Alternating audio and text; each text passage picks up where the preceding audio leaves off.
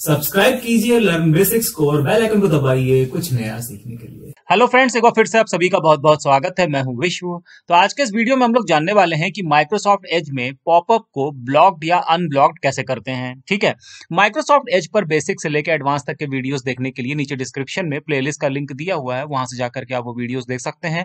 तो चलिए शुरू करते हैं आज का वीडियो तो देखिए पॉपअप को ब्लॉक करना है या अनब्लॉक करना है, उसके लिए हमें जाना है। ये राइट हैंड साइड में देखिए थ्री डॉट यहाँ पे दिख रहे हैं।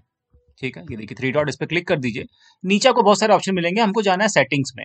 ये रहा सेटिंग्स इस पर क्लिक कर दीजिए तो सेटिंग का पेज ओपन हो जाएगा, ठीक?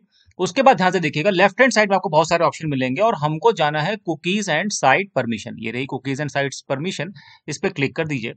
तो जब आप इस पर क्लिक करेंगे तो राइट साइड में आपको बहुत सारे ऑप्शन मिलेंगे। हमको स्क्रॉल डाउन करना है इधर से, ठीक है? ये देखिए, इधर से स्क्रॉल डाउन करना है।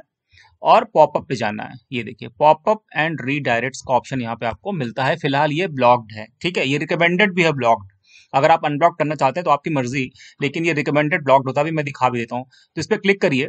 तो ये देखिए, यहाँ पर देखिए लिखा हुआ है ब्लॉक रिकमेंडेड ठीक है? और अगर आप इसको अनब्लॉक करना चाहते हैं तो यहाँ से इसको हटाइए और ये अनब्लॉक हो जाएगा। अगर अगर ये अनब्लॉक है और आप ब्लॉक करना चाहते हैं तो वापस इसको इधर कर दीजिए। ये ब्लू साइन है, ये ब्लॉक्ड हो जाएगा, ठीक है?